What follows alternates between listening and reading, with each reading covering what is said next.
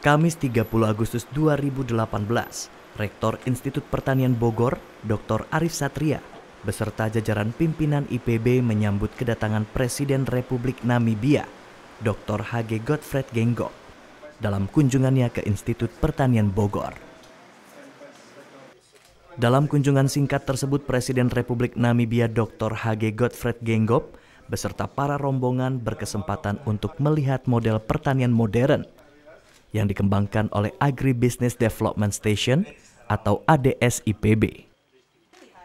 Pada kesempatan tersebut, Presiden Republik Namibia dan rombongan mengunjungi Mini Expo untuk melihat dan mendengarkan pemaparan terkait inovasi unggulan IPB dan hasil produksi ADS IPB bersama para dosen peneliti dan inovator.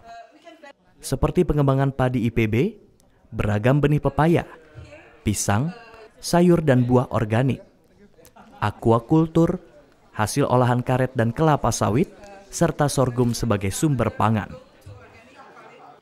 Kunjungan dilanjutkan dengan melihat greenhouse ADS IPB, di mana Presiden Republik Namibia, Dr. Hage Godfred Genggop, beserta para rombongan mendengarkan pemaparan terkait teknik hidroponik dan packing house yang dikembangkan ADS IPB.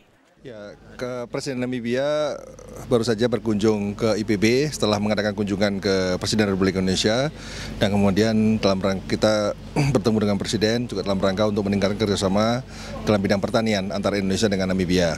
Tadi kami sudah bertemu dengan Menteri Perdagangan, Menteri Pertanian, Wakil Perdana Menteri dan Menteri Perencanaan dari Namibia dan mereka sangat antusias sekali untuk meningkatkan kolaborasi dengan IPB termasuk ingin mengirimkan putra-putri terbaik mereka untuk sekolah di IPB. Dan kita akan sambut mereka dalam rangka untuk meningkatkan uh, kerjasama kedua negara.